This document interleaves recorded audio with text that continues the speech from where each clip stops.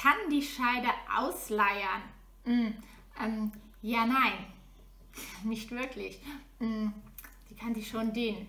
Ich erzähle euch was dazu. Also, unsere Vulva von außen, Scheideneingang und das hier, dieses Stück, das ist die Scheide, ein Muskelschlauch. Und ein Muskelschlauch, der kann sich erst einmal an alles anpassen, was da irgendwie so reinkommt, durchkommt. Ja, also ähm, wenn ich dann Finger reinstecke, passt sich dieser Muskelschlauch an Finger an. Wenn ich dann Tampon reinstecke, an Tampon. Wenn ich dann Penis reinstecke, an Penis. Dieser jetzt nicht, denn es ist kein Muskelschlauch.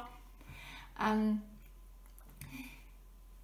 genau, passt sich an unterschiedliche Größen an und ähm, geht danach auch wieder auf seinen Urzustand zurück.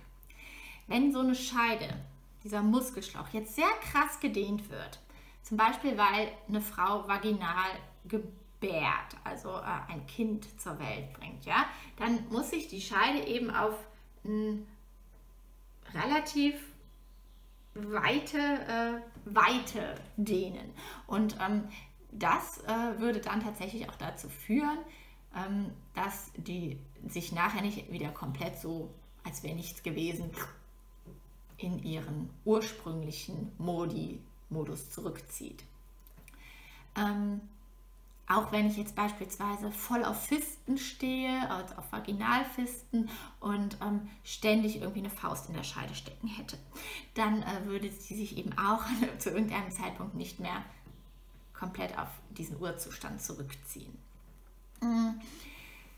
Was hilft, wenn äh, die Scheide eben nicht mehr so eng ist wie vor einer Geburt oder vor einer ausführlichen Fist-Aktion.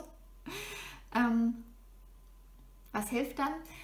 Dann äh, hilft Beckenbodentraining. Ja?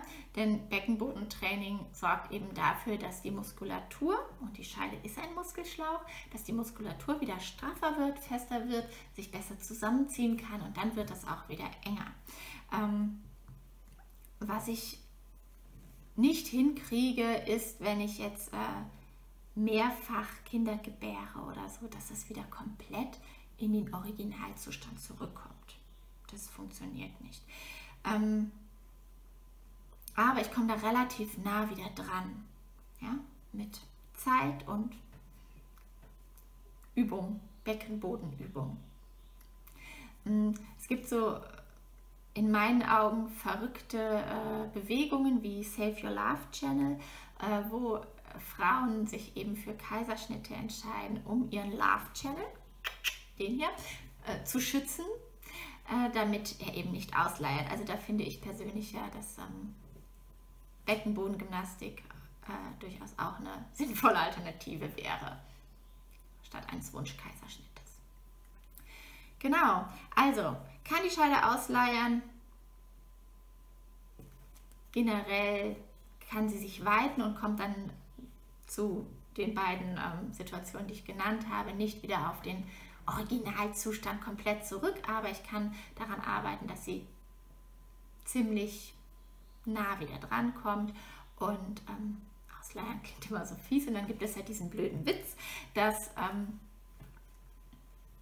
ich weiß gar nicht, ob das ein Witz ist, aber dieses, ähm, diese Aussage, ja, und dann hatte ich, also wenn, wenn jemand Sex hatte mit äh, einer Frau, die schon mehrere Kinder geboren hat, ähm, ja, ich, äh, es war, war ein Gefühl, als wenn ich äh, eine Salami in den Hausflur geschmissen hätte. So, ne? Das ist Quatsch. Salamis in Hausfluren, ist, äh, da hätte man ja keinen Berührungspunkt an irgendeinem. Quatsch. Okay?